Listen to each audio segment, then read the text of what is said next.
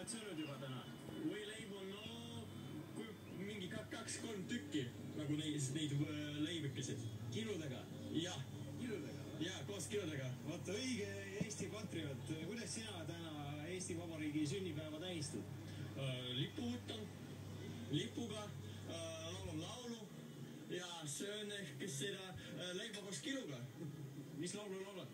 Äh, no erinevaid äh, selliseid äh, Eesti laule, metsavendade laulu ja nii edasi. mitu kilo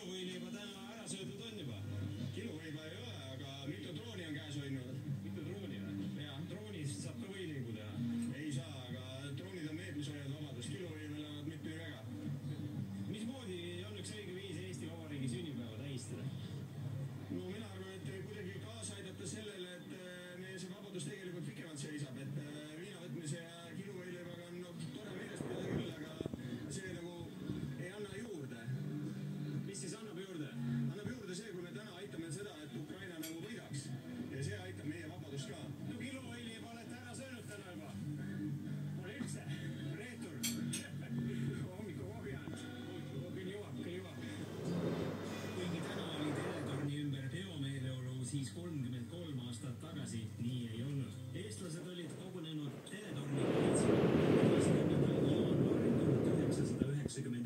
rünnati Vilniuse teletorni ja Nõukogude tankid ning sõdurid tapsid kolmteist leedukat, kes olid tulnud seda kaitsma. paar päeva hiljem kaotasid Riias elu kuus inimest, kes omariikluse püüdlust kaitsesid. Riia teletorni vallutati veebruaris ja hukkus üks inimene. veebruaris toimus Lätis sama lugu, kui vallutati Läti teletorn ja seal hukkus üks inimene ja seal juhtus ka selline jutumärkides aps nendel ründajatel, et kui nad sisenesid saatekeskusesse, siis äh, sõdurid ütlesid